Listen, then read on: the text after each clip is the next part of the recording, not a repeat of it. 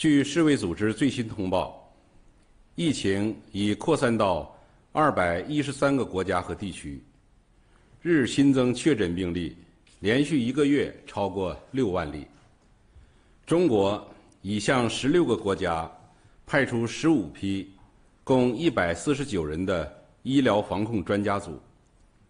日前，塞尔维亚国防部为中国专家组颁发了。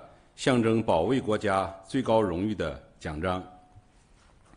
我们将与国际社会继续合作，共同抗击疫情。